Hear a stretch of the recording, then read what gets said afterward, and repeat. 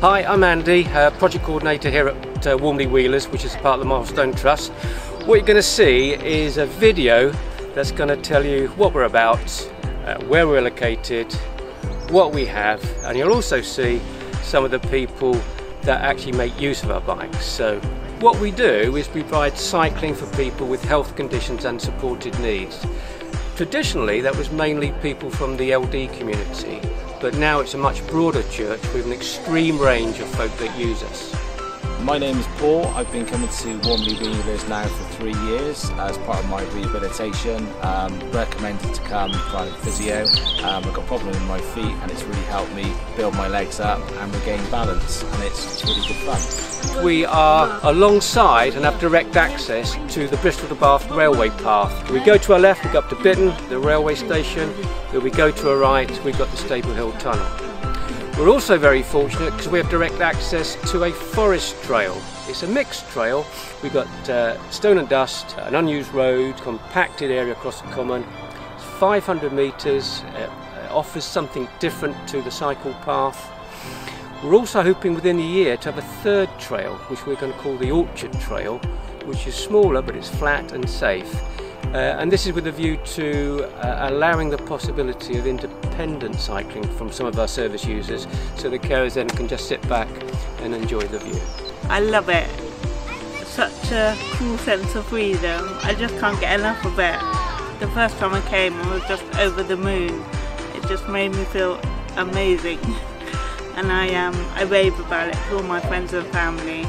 The bikes we have, if we start off with the recumbents, which are these uh, low bikes, they're really good for people that have the ability to make decisions in real time. They ride really well, very stable, uh, allows a real good quality of ride and independence. We've got a range of bikes for people that are uh, wheelchair users. We have a variety of bikes where a transfer is required, either for independent riding on these hand crank bikes or on this duet where you have a pilot behind you to cycle for you.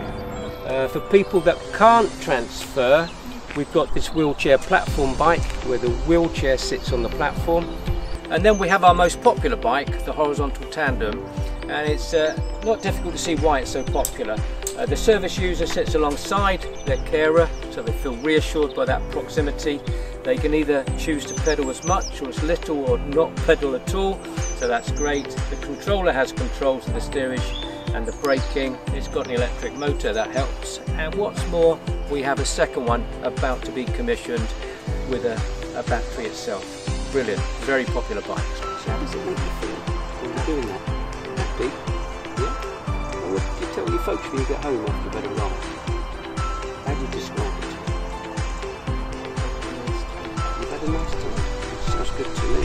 We have a variety of trikes. Um, got a couple here, some with suspension, some without. We've got a tag along on the back there that can be attached to one of the trikes. We have a number of trikes for uh, younger or smaller people. Uh, the pink and purple ones have got a fixed wheel that helps the leg turn over. And then this light blue and red bike uh, they've got control uh, extensions, which means the person with them can help with the steering and braking. So they're they're very useful to have. And then also we have some solos, uh, which can be used by service users if they're able to, and also for carers to ride alongside the service users if that's the need. We're very fortunate to share our uh, area with Warmley Cafe and Tea Gardens. So people can have a, a cuppa or a snack before or after they've paid us a visit, is a wonderful provision. Cycling is the most important thing I enjoy. Using the bike and all the facilities. And it's important to be in fresh air. And I'm really happy with what I'm doing. I enjoy being with all of you here at Warmley Wheelers.